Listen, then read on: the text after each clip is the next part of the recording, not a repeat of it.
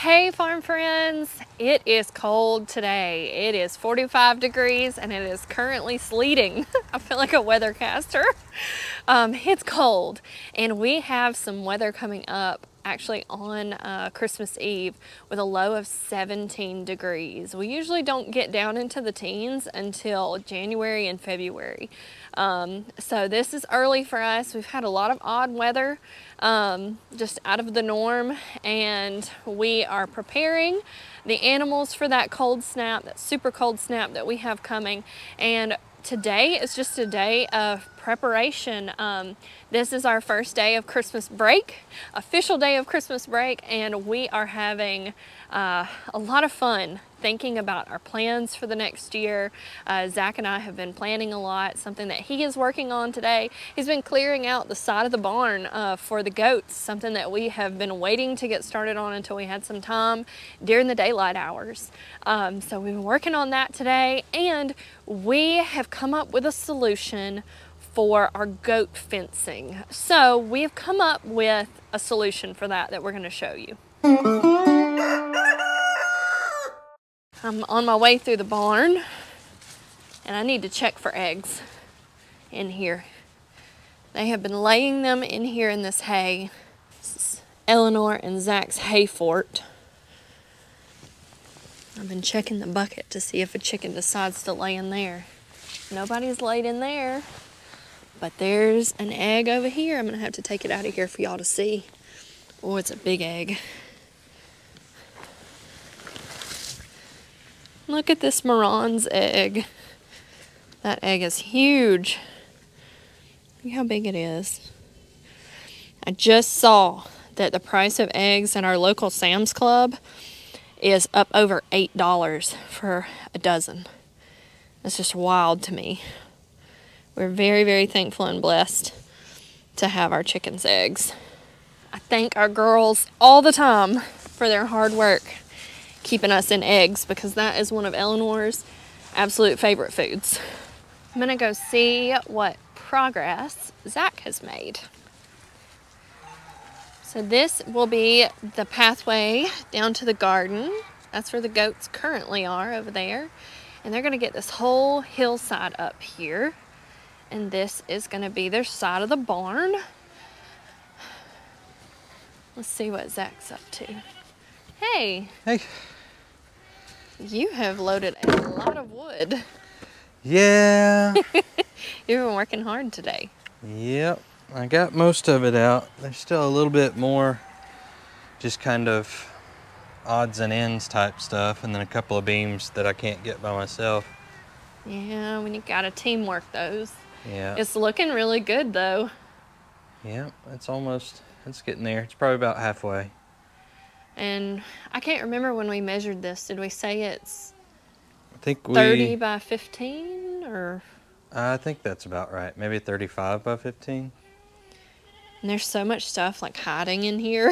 yeah, I was finding moles in here earlier. like alive? Yeah. Yeah, we know we've got moles. I would rather see moles than rats. Oh yeah. I didn't see any of those. That's good. But there are definitely some spots around our posts that we got to fill in with cement and then get some dirt just to fill some spots. But for the most part, it's looking good. There's an old corner hay feeder right here. Cow slash horse hay feeder that we're gonna put up somewhere. Yep, it'll get used again. I'm excited about that. Let's look in here. It's kind of dark in here. I've got some lights that we're gonna hang. There's an old cedar of some kind. I have no idea. I'd love to look Oh, up yeah. and see like how Planter. that that thing worked. Yeah, I called it a cedar, a planter, I guess. There's a few of those around here too. Yeah. We got some batteries we need to haul to the recycling. We got a bent gate. I don't know what we'll ever use it for with it being bent. Mm. He's done a good job. This wall right here leads into a room that we have inside the barn. This is like the side of the barn, and the inside of the barn is in there. And I've considered us putting a door here because we've got mini fridges in there. And I was looking earlier thinking that we would need to do something to get um, an extension cord if we do lights that plug in or run an electric wire. And I was like, well, we'll just cut a hole, I guess. And then I realized that this right here goes straight into that tack room. And Yeah. so we could feed it through there or just go Yeah. over the beam. Up there does too. Yeah. So We'll be doing that. And we have this corner over here that that one's has pushed be- out over time. So we've got a Yep. something. We know what the something was. It was a whole family of groundhogs living in here. Oh yeah, that huge hole when we first there, moved here. It's bad. It's cold, so I don't have to worry about snakes. But yeah, look at that hole down in there. So we've got to fix all that. I see some barbed wire down in there. So this is more than just moving wood to be able to get the goats in here. Um, but we had a whole family of groundhogs living and digging holes under this barn when we first moved in. And we had to exterminate them. we had to get them out of here because they were destroying stuff. Um, They had a lead deficiency. They had a lead deficiency. That's what we'll call it. I got some saved rabbit slash goat poop compost. Probably put that down under the hay whenever we mulch the garden later. Sounds good. Yeah, we've got to mulch the garden. We have a lot of stuff to do before this cold weather.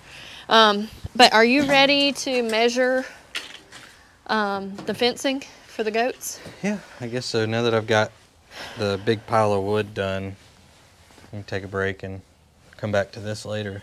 Yeah. Thankfully, we have some time on Christmas break to work on this stuff. Oh yeah. That is a, a nice load of wood. Oh yeah. We'll find some uses for. Look at that huge block. Yeah, I videoed that earlier. I need to. I was gonna put it up on shorts and This reels is massive. and see if folks had any ideas of what we should do with it. Make a good counter Yeah. in that tack room. I want to go show them the tack room while you get the um, the measure. What do you call that thing? I don't know.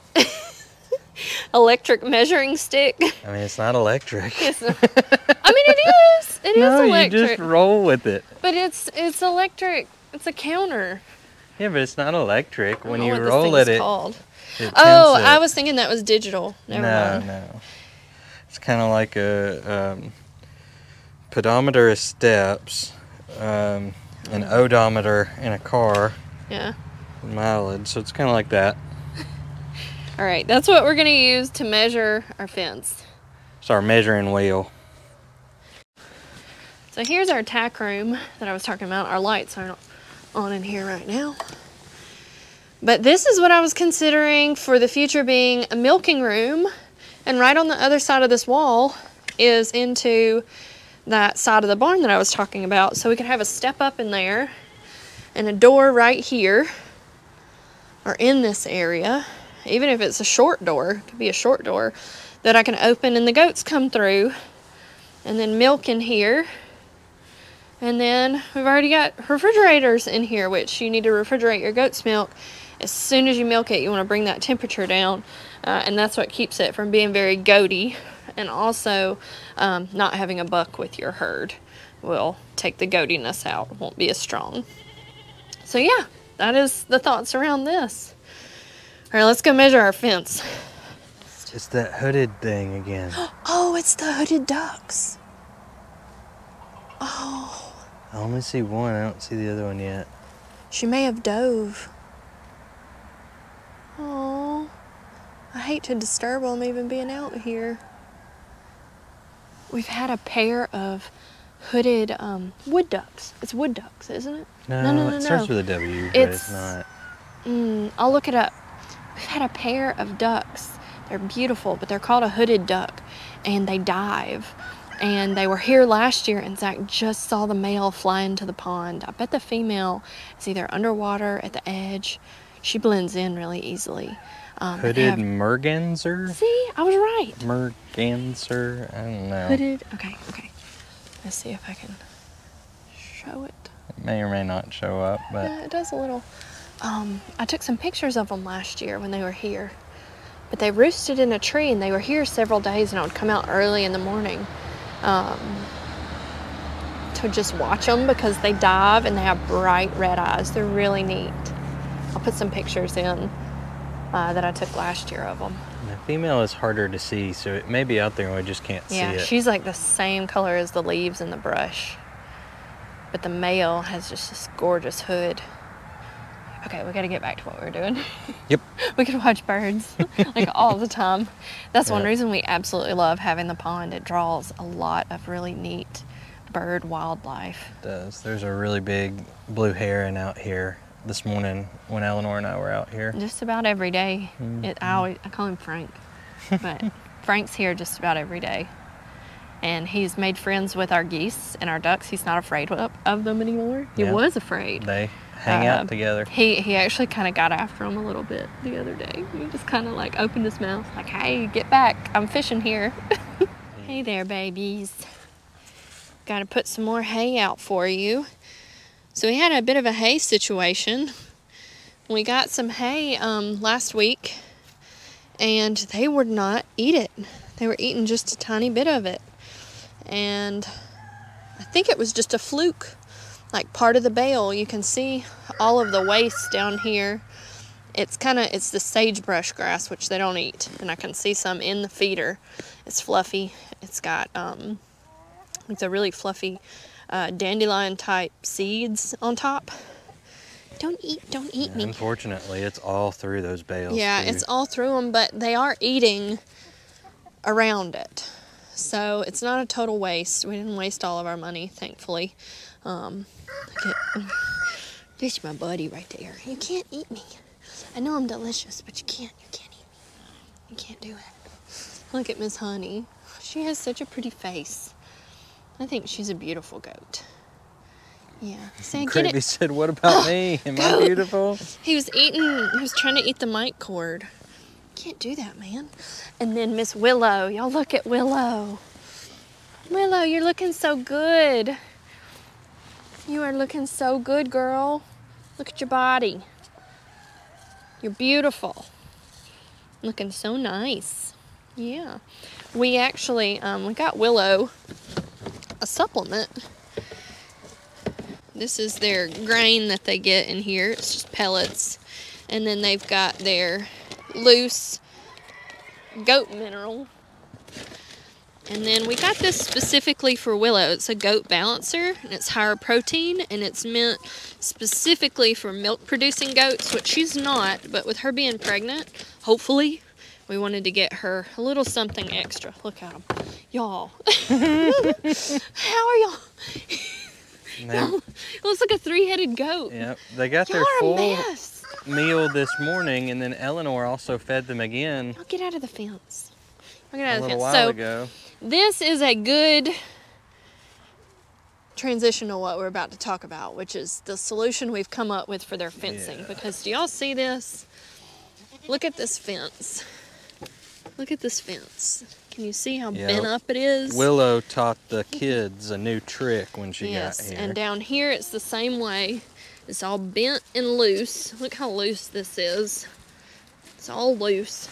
It was Willow not like to, that. Willow likes to climb on the fence. Yes, she does. Which we've we've heard and we knew about goats, but our babies they haven't been doing that. Um, but she does it, and she has taught them. You're a bad influence. she said, "No, I'm not. I'm good. I'm still good. You're so beautiful, girl." Um, so we have decided not to put in permanent fencing for these goats. Um, they're not staying here. If you watch our videos, y'all know they're all going to yell at us as we walk away. but I've struggled because where I want to put the goats, the plan this entire time, leading up to us getting them and everything, has been for them to get this whole hillside up here. But for them to get the hillside, we were going to build them a structure so that they had a permanent barn up there. But we have a barn right here and it's not being used for the animals and it needs to be. And so our solution was to block from here all the way to here.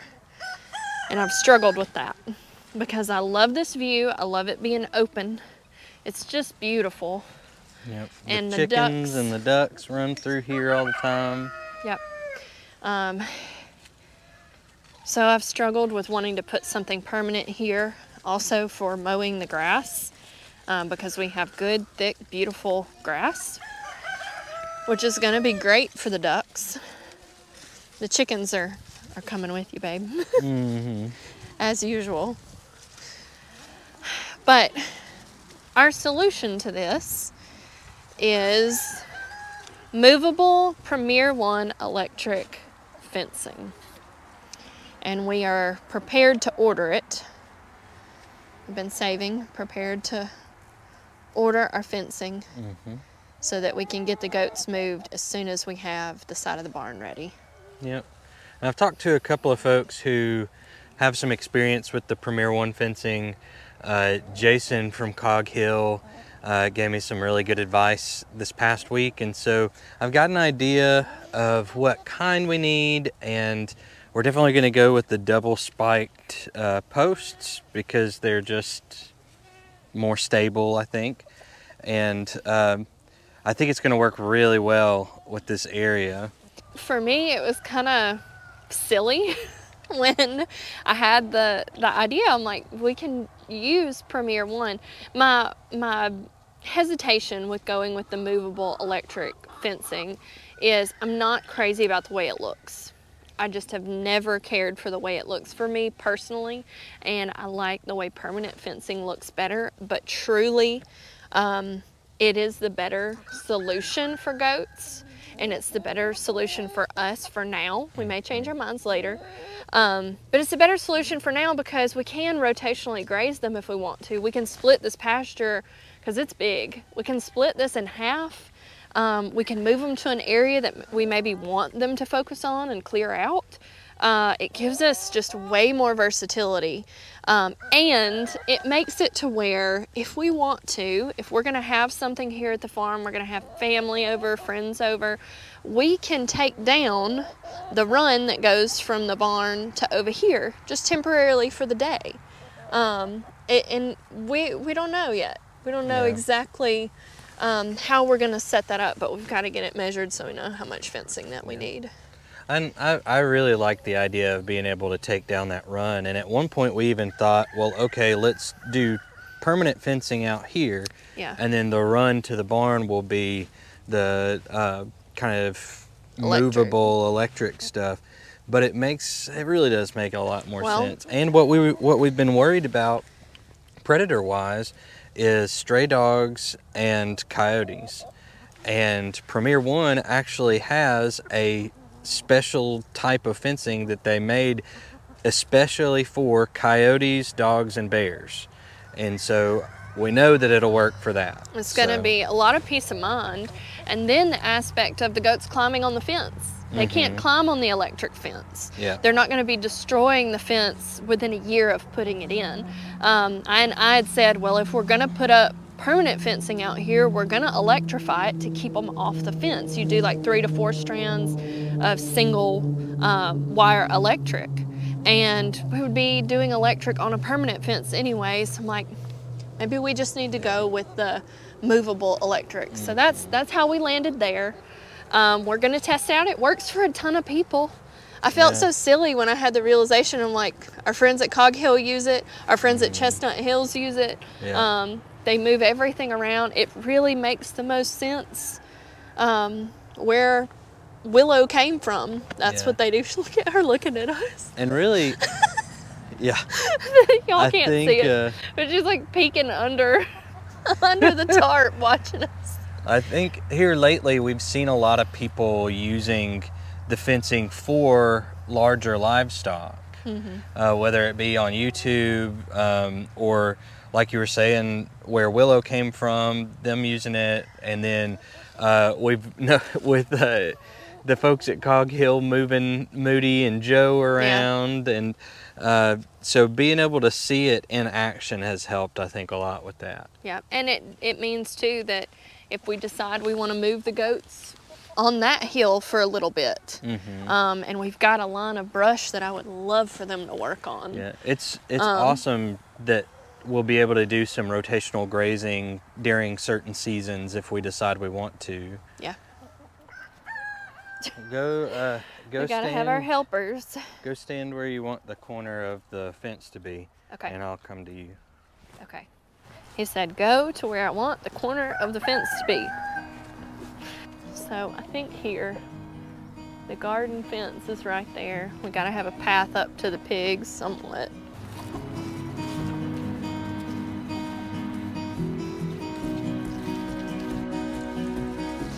The plan is also to have our pasture coops inside of this electric fence as well, and that will help protect them from any predators. Love this tree. The goats are gonna love this tree too. hey, pigs. We hit 200 at the corner back there. 200 from the barn. Yeah.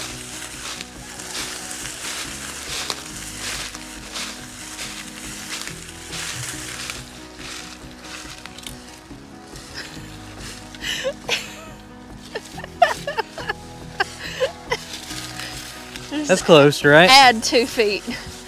Look how the chickens have been up here scratching in all of Yeah. this. They've been loving coming up here. All right, how far are we going? Um, maybe 15 more feet and then down. All right, I don't want to go through this, so right here's good. Okay. Y'all, if if I could redo our property and pick a new location for my house, it would be up here on this hill. Because you have a beautiful view of the pond and this pasture. But it sure is nice that the goats get it instead. You want it on this side of the ditch or that side of the ditch? That's been my struggle too, is with this is I think- ditch. I think this side of the ditch, just so we don't have to think about. We just don't have to think about Yeah. the ditch. Okay. So we'll go down to like here, ish, okay. because the water's never going to get this high, no matter how it is. And so we know from about here down it'll get soggy, Mm-hmm. but starting about here it's not going to be as soggy. So Yeah. and the hillside stays pretty dry. So I think this will be good. Sounds good. We are at 375. And here you wanted it to be 20 feet out.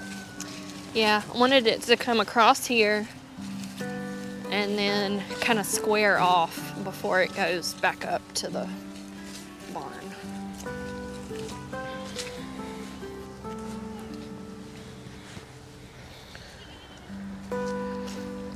591 and a half. Ooh, so 600 feet of fencing. Yep. Yowza. Uh, well, It's got to be done. I'm glad we've been saving. Yeah. I'm glad we have the funds to do this. Um, it is not cheap having animals and giving them the best that you can. Yeah. Well, it's not Um, cheap to keep them safe and healthy. That's the biggest thing. Mm-mm. No, It's hard to do that. it's got to be done, and it's gonna be great. Like just looking at the hill. Yeah, uh, they're going to love it. They're going to be so much happier. And I think we are too. I can't wait to see them running. Yeah. That's what when we let them out, they run, hmm and that's what I want to see. I want to see them running down the hill, coming in. Hopefully Willow with her babies, and they'll be super safe. hmm Um, dogs are our main predator here, and that has been my biggest worry with the goats. Cause I, as me and my friend Tracy say, if something happens to my goats, we're gonna be a mess. yeah. Uh, so that's going to keep them safe. And then we're also going to have our um, breeding groups, some of our breeding groups for our chickens, which we sell their eggs and we hatch their chicks. So we have to separate out our breeds and our uh, selections for egg color as we're breeding those. And I wanted to have them in the pasture. I wanted to have them in the pasture, all of them, last year but we just couldn't uh, come up with a good way to keep them safe and it was kind of the end of the season at that point so for this year they're going to be inside of an electric fence and i'm not going to have to worry about dogs Yep. so that's going to be That'll great be really nice. it's going to be great so we love our chickens too we love all of our animals Here they come checking it all out. Here they come. Did y'all hear that? You're gonna get a nice, safe pasture. Gonna hang out with the goats like you already like to do. Well, we asked for suggestions for what to name this new Splash Copper Marans rooster. Yes, I love him. And we had several folks say Rusty. oh, I And like, I like Rusty. Rusty and Walker, Yeah. the So patriarchs of our Marans breeding. Yeah. I love that. And look, so that is a splash copper Marans, now named Rusty, with a splash Marans hen. She's not copper. Um, she doesn't have that gold color on her, that copper color. And then that is a black copper Marans back there. His primary color is black, and his primary color is splash. And there goes a black Marans hen. All of these are going to get separated off very soon for breeding. Well, we've got Goat some fencing. We've got some fencing to order. Yeah. We got our game plan. Maybe some money to move around. Maybe some money to move around, and we may we may back off. Um, we may not do that whole hill. We may back it off Yeah. just a little bit. It was. It wound up being more of a distance. Look at her climbing Than, Look, look oh at her. man. Uh, you cannot see her, but Willow, you can kind of see her. Yeah. She's trying to climb to get to the vines. Yeah. Get to the vines. Climbing that fencing. Goodness gracious. I mean, that's won't- like won't be able to do that with the Premier one. and- 60 pounds of pressure Yeah. pushing down on the fence. And I mean, it's it's already made a big difference just since she's been here. Y'all saw Mm-hmm. how loose it is over there, but Mhm. And I mean, that um, fence stretches out. That's yeah. that's part of it. and anytime I'm in the garden, she loves to be over there on the fence up against the garden. She'll stand on it and watch me. Yep. Um, but But that's going to stop and that's Yeah. going to get better. mhm. And their hay feeder is actually going to be in here. Um, we're going to do all their feed, their hay feeder, and everything in here. And my plan for the layout so the electric fence will start at that corner, like we measured, and it'll end right here. So it's a, it's a long run. It's going to take a high power charger too. But Premier One has all of that. But the idea is we'll kind of have a gate section here Yep. where the fencing will go over it and we can turn the fencing off and move it. And that will be an everyday thing. And then we'll come in here. We'll have feed and hay ready for them right here. But there will be fencing here and here. So this will be their entrance, ultimately. Yep. Their entrance will be here. And we'll They're have gonna love it. stalls set up back there. And It's going to be great. I really do think we're gonna love it too. Oh, I do. I definitely do. Alrighty, farm friends. Thanks so much for hanging out with us today here at Head Family Farm. We've enjoyed sharing our dreams with you and the current projects that we're working on. Y'all make sure and stick around so you get to see how those projects turn out. And uh, we always do these projects together, and we get to share our joy with you. And that's really why we do this is to share our joy with you. So we thank you so much for being here. We can't wait to hang out with you again soon. Y'all have a very Merry Christmas, a great holiday season, and we'll talk to you again soon. Thanks so much, farm friends. Y'all have a good one.